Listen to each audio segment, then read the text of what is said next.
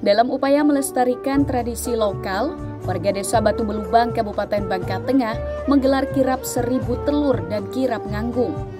Uniknya, seribu telur diarak keliling desa dengan menggunakan media kerito surong yang merupakan alat angkut tradisional warga Bangka Belitung terdahulu. Acara ini dihadiri oleh ribuan warga serta tamu undangan dari berbagai daerah. Warga berjalan beriringan mengelilingi desa sambil membawa telur dan dulang berisi makanan yang melambangkan kebersamaan komunitas. Tiba di tempat acara, tamu disambut atraksi silat khas desa setempat dan tari sambut. Sementara dulang dan telur yang dibawa keliling kampung diletakkan di tempat acara untuk disantap bersama. Di sini, warga melanjutkan kegiatan dengan tradisi nganggung, yaitu menyantap hidangan berbagai makanan tradisional. Hal ini dilakukan sebagai upaya rawat tradisi sekaligus memperkenalkan Batu Belubang sebagai pesona budaya desa wisata.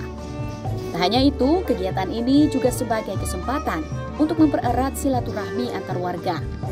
Jadi kita tidak mau kehilangan budaya kita yang notabene kita adalah Melayu jadi kita akan tunjukkan kembali ke hal yang ramai bahwa Batu Belubang punya budaya Melayu yang sangat menarik dengan berbagai macam lomba tradisional yang telah kita lakukan juga akan menjadi nilai tersendiri lewat wisata budaya yang ada di Batu Belubang.